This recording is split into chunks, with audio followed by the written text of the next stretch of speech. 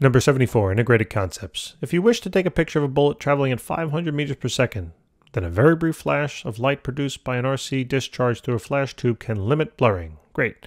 Assuming 1 millimeter of motion during 1 RC time constant is acceptable, and given that the flash is driven by a 600 microfarad capacitor, what is the resistance in the flash tube?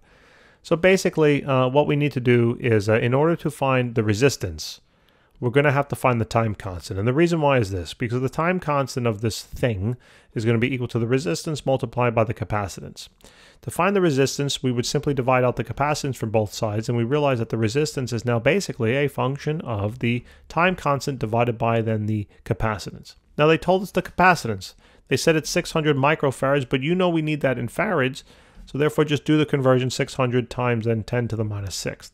Now my attention totally turns. Instead of thinking about how do I calculate resistance, I now think about how do I calculate time constant? Or what is the time constant in here? Or how can I do it?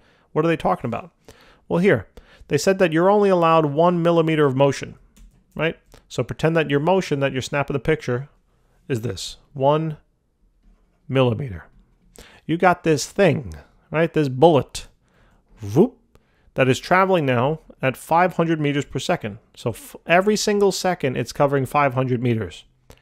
But you're only allowed to capture it during a motion period of one millimeter. So my question is, how long do you have here to capture it? How can you figure that out?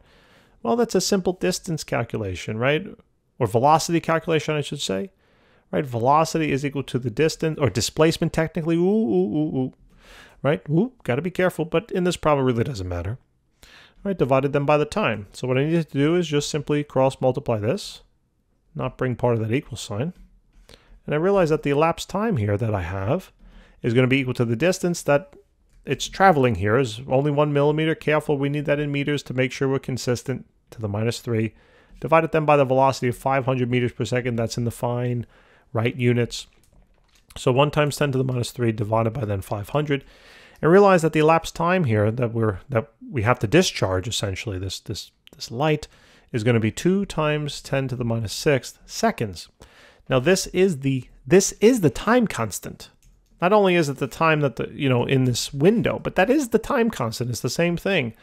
That's the time uh, of which we have to emit this flash, right?